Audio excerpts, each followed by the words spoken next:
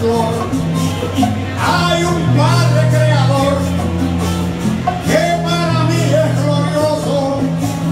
Y cuando estoy en reposo en mi rústica cabaña allí siempre me acompaña un Dios